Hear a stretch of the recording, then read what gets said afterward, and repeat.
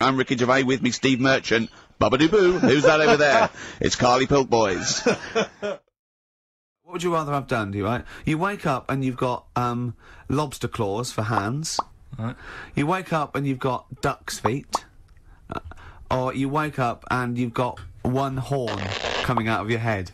The worst thing, Yeah. probably the uh, the horn coming out of my head. Why? Get in the way.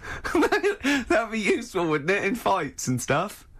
And uh, for like parties, people play Well, I suppose the lobster claws would also be quite handy there. Definitely.